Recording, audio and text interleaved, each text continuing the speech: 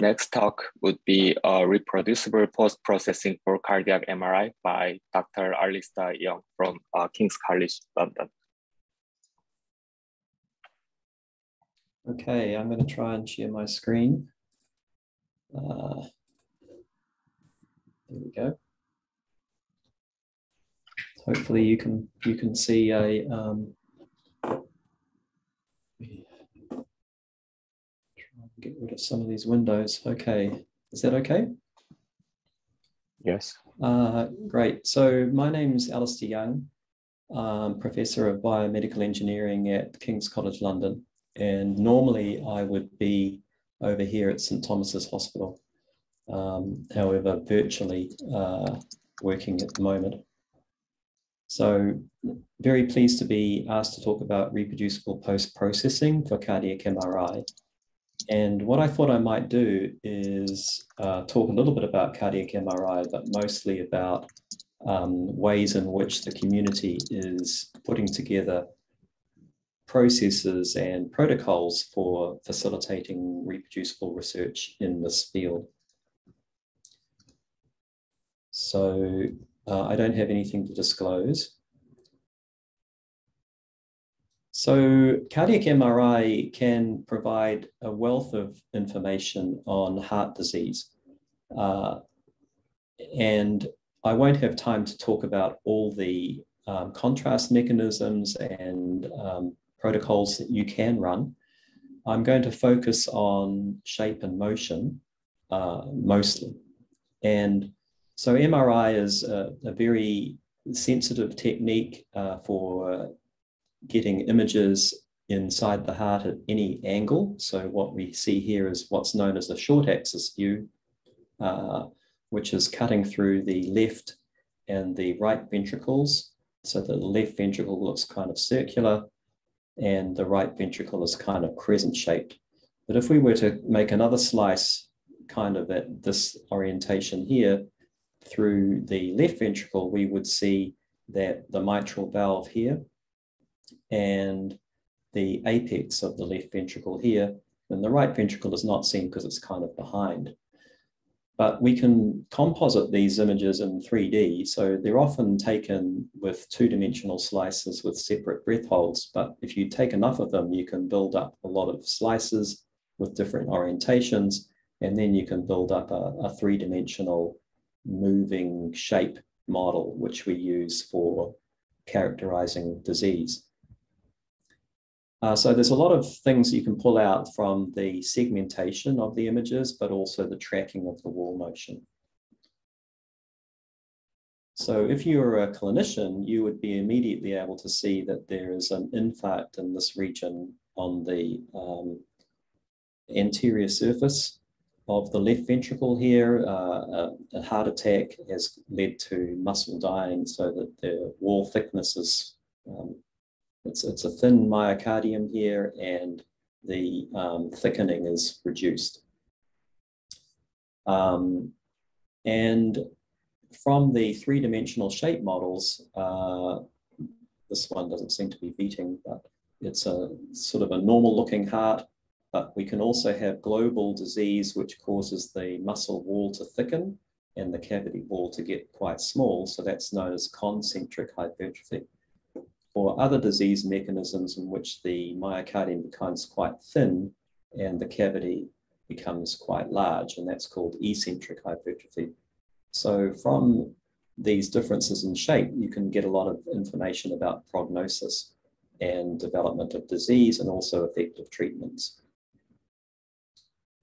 So there's a large number of um, MRI studies on clinicaltrials.gov, you can see that there's, there's a, a lot of them going on. And over the years, they've become larger and larger. Uh, one of the first studies, epidemiological studies to use cardiac MRI was the multi-ethnic study of atherosclerosis, which started kind of 2002. And they've been following patients for about 20 years now. Um, more recently, the UK Biobank has imaged or plans to image about 100,000 uh, people just um, in the general population. And it's one of the largest uh, cardiac MRI studies in the world.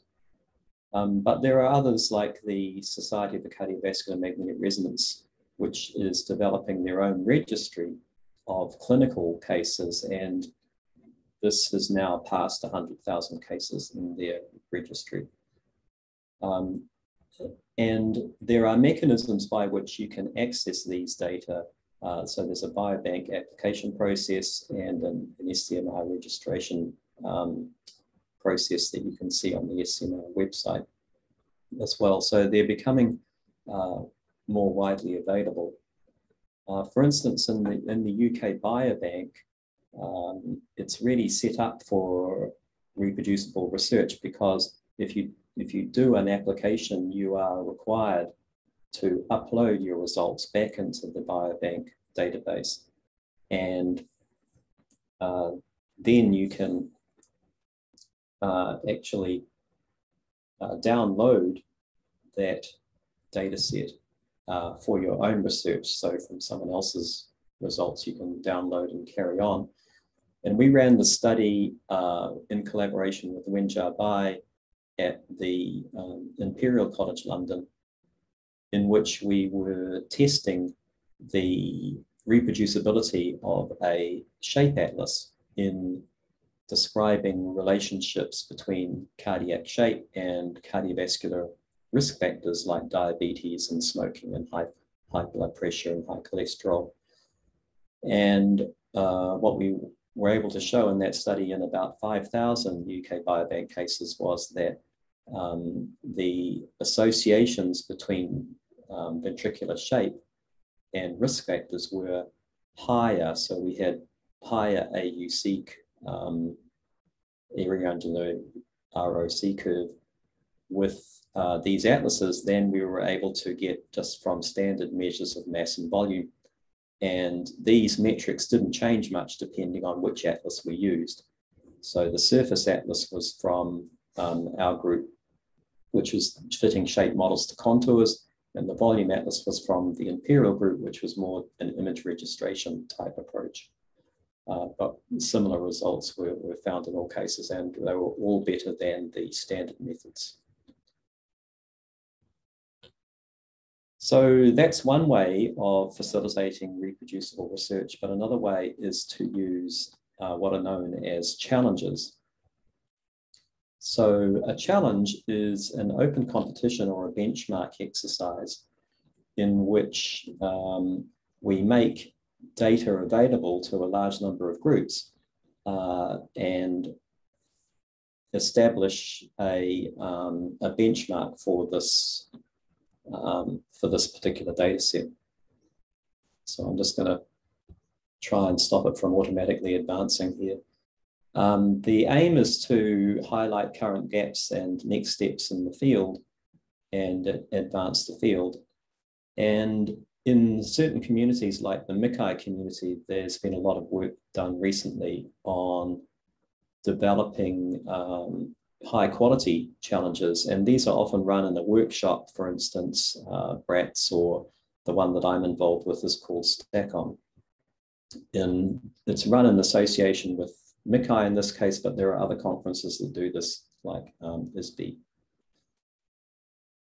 And recently, um, particularly with Lena Maier-Hein and um, her colleagues, um, there's been a lot of work done on improving the quality of challenges. So the idea of a good challenge is that it should address uh, a well-defined problem relative to, to, to the community, provide um, high quality data, and um, it should include issues like what types of methods are used for the sharing, who can participate, whether the participants can also process their own data, and how results will be published, etc.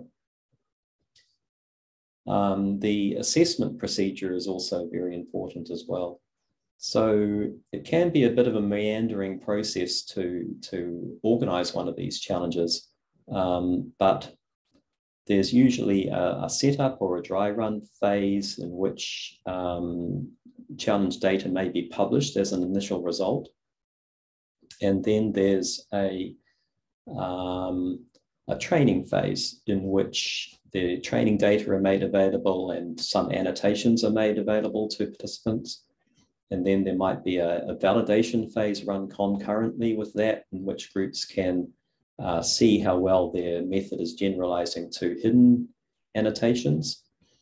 And after that, the individual groups might, might publish their results in their own papers, but there's always often a testing phase, which is using uh, data which has not been previously seen. And uh, this is either done either on site or, or asynchronously, and then there's a report which is collating results. Um, one thing is that with these challenges, you can often expect a lot of people registering, but relatively few people actually providing their testing data. Um, I don't think that um, that's a bad thing so much um, because it's good to get people involved in, in, the, in the study in a wide variety in the community.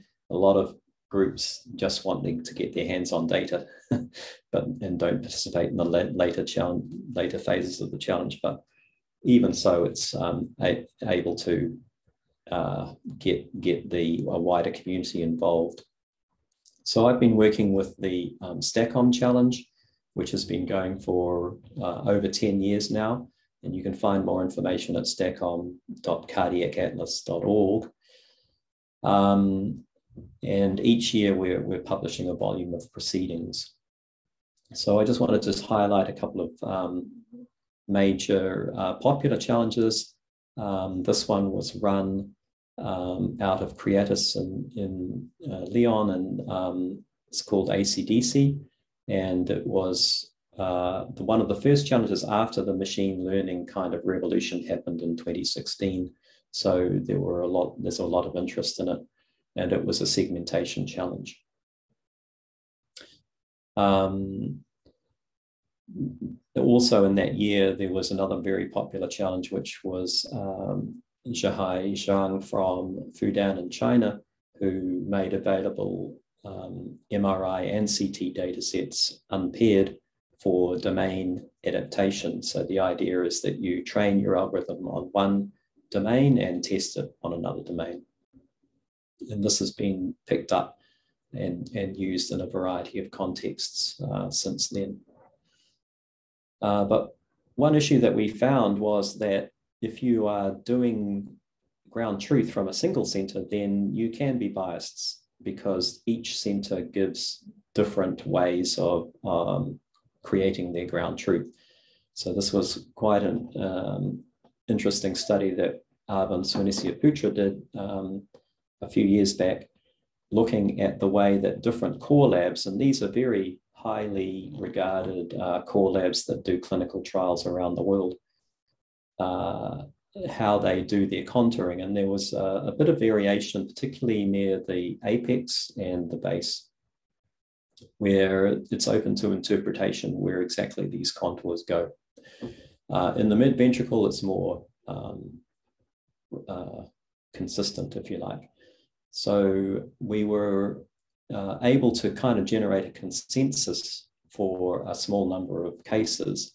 And this is um, the result of what we call um, JCMR readers from seven different core labs and their biases compared with the consensus. So you can see that within each core lab, they're very consistent, but between core labs, there you can get biases which are fairly significant in some cases.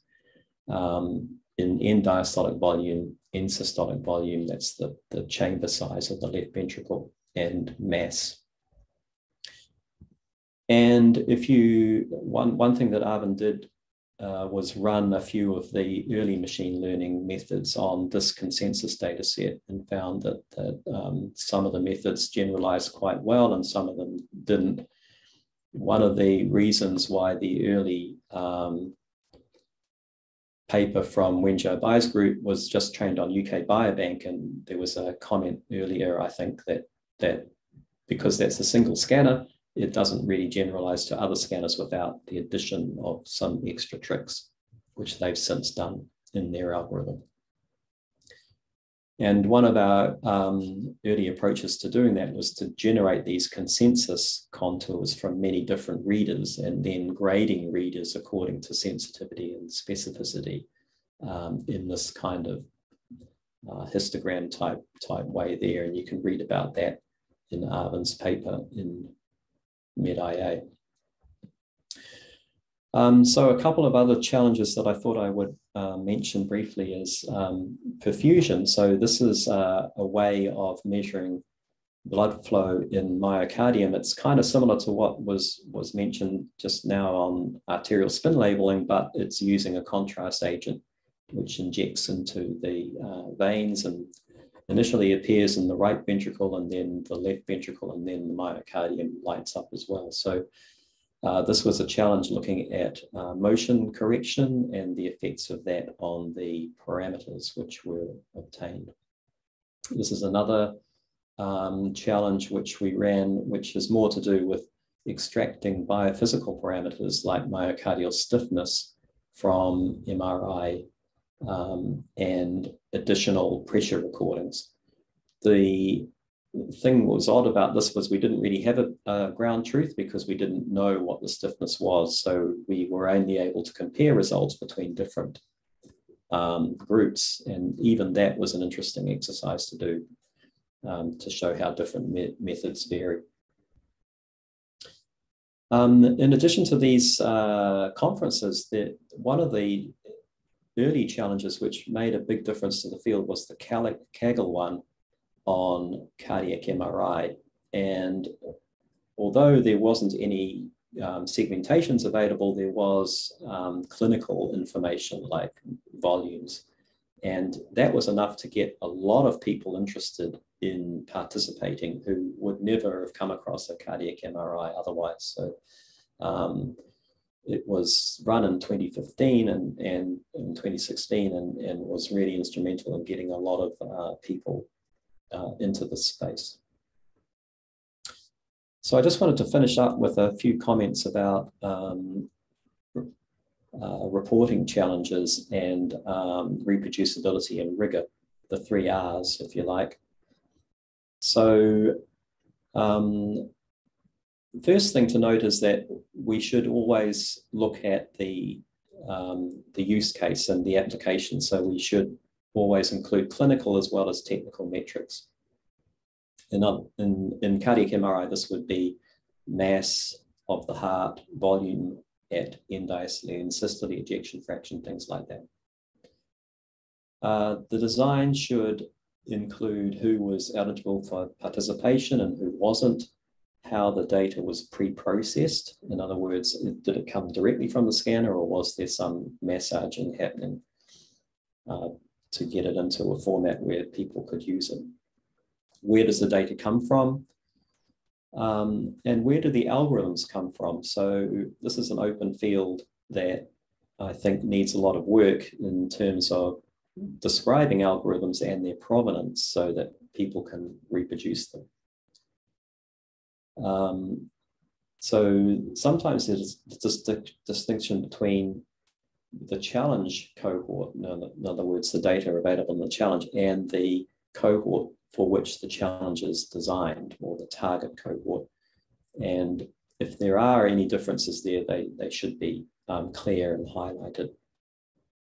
And finally, any recommendations uh, should be included in the report to point the way for future work and highlight any deficiencies. So for reproducibility, it's good to keep an open call on these challenges so that you make a data available for continuous benchmarking into the future. And uh, it's also very good to have um, your algorithms open source so that other people can um, test them um, on, a, a, level playing field. Um, one of the things that isn't, doesn't happen very much is the test retest reliability, which is very important. So this means that you need to get not only one scan of your participant, but two scans, um, usually within half an hour or so. And that gives you an idea of what the actual clinical variability is, which is often much higher than just the observer variability. Um, and the third R is, is rigor. So talk, we talked about having predefined um, endpoints and um, we, we should make sure that those don't drift during the challenge.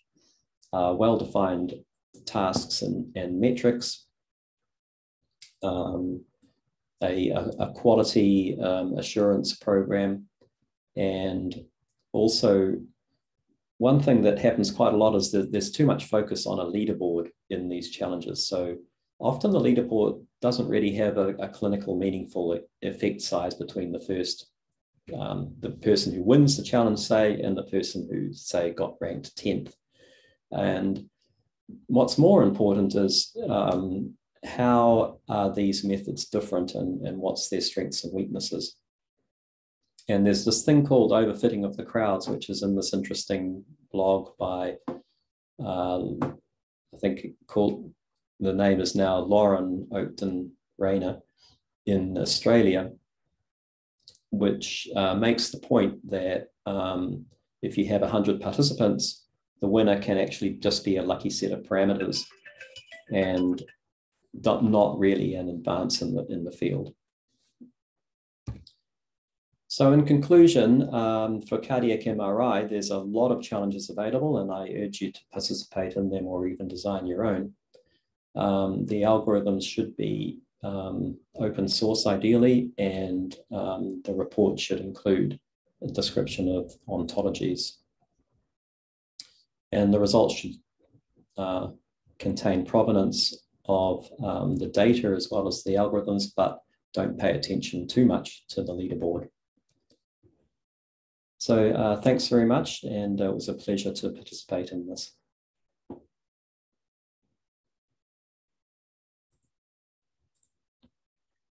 Okay, thank you for a nice talk, Dr. Young.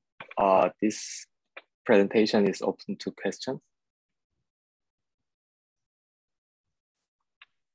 The, regarding the challenge, I have a quick question. So uh, were there any, so, so I think for the challenges, it, it's uh, very important and very difficult to set a assessment criteria. And were there any cases? So you you said uh, always set the quantitative uh, assessment like endpoint for each challenges.